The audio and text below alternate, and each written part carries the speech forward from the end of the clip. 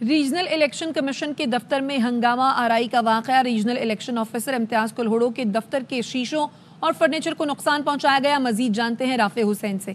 बताइए राफे। देखिए, आज हल्का एन ए दो सौ इकतीस के चार पोलिंग स्टेशन की दोबारा गिनती होनी थी और रीजनल इलेक्शन कमिश्नर के दफ्तर पर सियासी जमातों के कारकुनों ने धावा बोला जिसके बाद हंगामा राई के बाद रीजनल इलेक्शन कमिश्नर इम्तियाज़ करोड़ों के दफ्तर के अंदरूनी मनाजिर ये दिखाई दिखाई दे रहे हैं कि रीजनल इलेक्शन ऑफिसर के दफ्तर के शीशे तोड़े गए फर्नीचर को नुकसान पहुँचाया गया, जबकि दफ्तर में दाखिल होते वक्त जो वॉक थ्रू गेट्स थे उनको भी तोड़ा गया। सीसीटीवी कैमरा की जो रिकॉर्डिंग सिस्टम था उसको भी नुकसान पहुँचाया गया, जबकि ऑफ़िस में रखे गए सामान कंप्यूटर और वोटों के बोरे को जो सियासी जमातों के कारकुनान हैं वो साथ ले गए।